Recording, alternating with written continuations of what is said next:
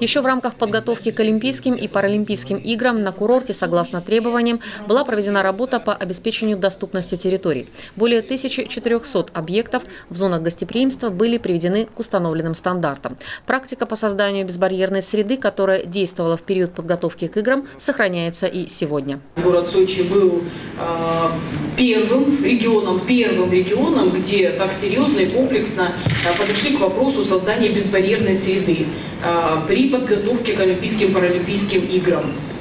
Естественно, за эти годы уже сделано немало. Сейчас мы тоже находимся в активной фазе э, расширения так называемых теперь эталонных зон. Точной цифры, сколько людей с инвалидностью прибудет в Сочи на матче Кубка Конфедерации, нет. Но очевидно, что им будет здесь комфортно. В городе есть специализированный транспорт, пандусы, светофоры с аудиосопровождением сигнала, подъемники и лифты в переходах. По словам научного сотрудника художественного музея Сергея Гриня, инвалида первой группы по зрению, главное – это изменение изменения, которые произошли в сознании людей. Самое первое и самое основное, это как фундамент построения дома, это доступная среда э, в голове человека. То есть есть пандус, но на съезде стоит машина. Да? Смысла от него нет. Работа, которая сейчас проводят в городе Сочи, осознание, для чего это делается. Благоустройство в Сочи в части доступности идет в том числе и с учетом рекомендаций людей с ограниченными возможностями. И эта работа будет продолжаться. Рената Шипулина, Владимир Киселев, телекомпания «ФКТ».